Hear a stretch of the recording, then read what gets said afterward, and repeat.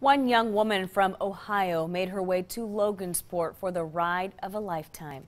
Allison Martin was diagnosed with leukemia in May of 2012 after several treatments. Doctors have told Martin there is nothing else they can do for her.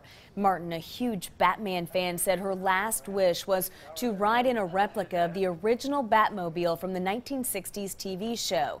A friend of her family made arrangements with fiberglass freaks in Logansport for Allison to ride in one of the iconic vehicles today. Martin says the reason she loves Batman is because of her brother.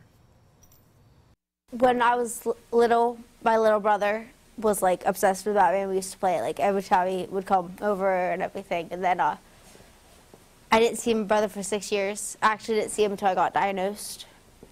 So uh, it kind of was like, you know, it's part of my brother. Martin's closest friends, who are also Batman fans, joined her in Logansport and also took a turn riding in the Batmobile.